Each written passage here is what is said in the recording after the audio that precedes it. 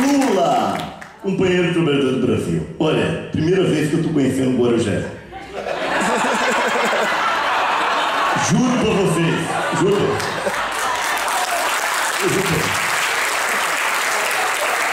Eu tô até hospedado agora de favor num T-Pex de um amigo meu aqui.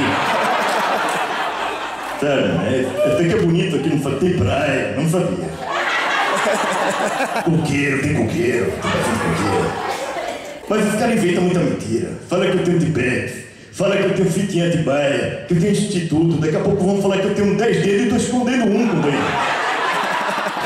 Tá foda fica conta, Meus caros amigos, depois de 20 anos é que me prenderam. Se fosse no meu governo, o bandido era preso muito mais rápido. Porque tinha rota na rua.